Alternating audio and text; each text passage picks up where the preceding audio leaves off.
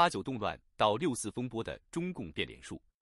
吴国光文章时值六四，年年悲愤。然而与年轻一代谈起，却大多猛然不知，三十四年前的中国究竟发生了什么事情？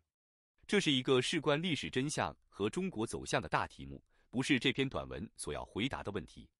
这里要讨论的仅仅是一个名词问题：一九八九年春夏之交在中国发生的事情，要用什么词汇来提及呢？我本人在这一点上并无迷惑。那时候，中国发生了一场全民参与的民主抗议，随后遭到了中共当局的军事镇压。因此，“八九民运”与“六四镇压”这两个词足以称呼当年的历史事件。但是，这两个词都不可能出现在三十四年来直至如今中国大陆的语言环境中。事实上，中共当局希望人们忘掉一九八九年的事情。三十多年来，也用了多种多样的办法来试图达成这个目的。其中，选择适合专制政权利益的词语来称呼“八九民运”与“六四镇压”，就是其中一个办法。由于这样的做法是从当权者的私利出发的，因此必然罔顾历史事实，以至于他自己的说辞也是自相矛盾、破绽百出的。中共说辞前后不一，自打耳光。最直截了当的一个例子。就是一九八九年学生与全民的民主抗议运动初起之时，邓小平很快将之定性为动乱，后来更加上反革命暴乱的说法。然而六月三日和四日的军事镇压过后不久，邓小平就改口了，称春夏之交的事态发展为一场政治风波。三十多年来，如果不得不提及当年的事情的话，中共一般总是使用后一种说法。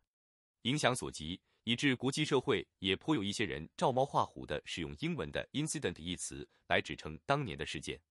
这种前后不一的说法，搞得中共对于那年事情的官方记载也自打耳光。中国政府官网在中华人民共和国大事记的一九八九年这一节开端这么叙述：春夏之交，北京和其他一些城市发生政治风波，党和政府依靠人民，旗帜鲜明的反对动乱。平息在北京发生的反革命暴乱，云云。既然发生了风波，你却去反对动乱并平息暴乱，这不明明是前言不搭后语吗？谁都知道，风波在汉语中不意味着什么大事。如果真是大事，那就不叫风波了。毛泽东会称之为大风大浪。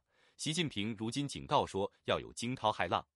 事实上，邓小平当年也和过去的毛泽东、当今的习近平一个样子。在八九民运之初，就把事情说得非常严重。一九八九年四月二十六日，《人民日报》把邓小平据说是头天晚上发表的一篇谈话稍加整理作为社论发表，这就是所谓“四二六”社论，并没有说什么北京发生了政治风波，而是使用邓小平的原话，这样描述大学生和市民们悼念胡耀邦的活动：这是一场有计划的阴谋，是一次动乱。其实质是要从根本上否定中国共产党的领导，否定社会主义制度。这是摆在全党和全国各族人民面前的一场严重的政治斗争。这篇社论以必须旗帜鲜明的反对动乱为题，再三要求中国共产党各级组织充分认识这场斗争的严重性，为坚决、迅速的制止这场动乱而斗争。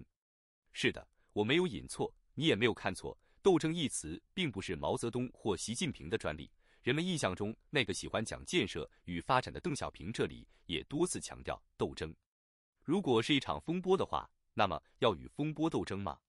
不管是四川话、北京话还是英文，什么文，这好像都说不通吧？正是这篇社论，这一定性激怒了成千上万的大学生。第二天就在北京举行了声势浩大但和平有序，并得到市民热烈支持的四二七大游行。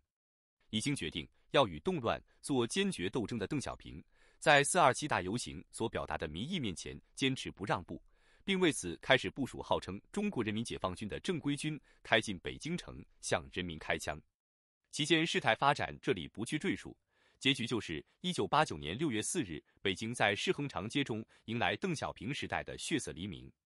血腥镇压后，意图轻描淡写，然后邓小平就放软了语调，把这场严重的斗争轻描淡写的说成了一场政治风波。官方舆论自然鹦鹉学舌。从此，中国历史上平添了一场八九风波。可是，一九八九年四月下旬，你邓小平怎么不讲政治风波呢？邓喜欢称大学生们为几个娃娃，几个娃娃再怎么示威，确实是可以看作一场风波，而不必对此大动干戈的呀。光天化日之下公然屠杀民众，独裁者也还是需要自己给自己壮胆的，更要给自己找借口。于是就把事态描述的黑云压城、山雨欲来、惊涛骇浪，严重至极。杀完了人，做完了坏事，有阴谋得逞的得意，也有做贼心虚的心惊，更需要掩盖真相，欺骗民众与历史。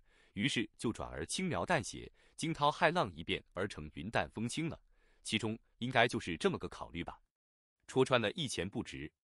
如今习近平大谈什么惊涛骇浪，按这个逻辑，应该也是在为加紧镇压而制造舆论准备。不过他与邓小平一样，也是前言不搭后语，自己打自己的耳光。你所领导的中共政权三十多年来，不是一直在不遗余力的维护稳定吗？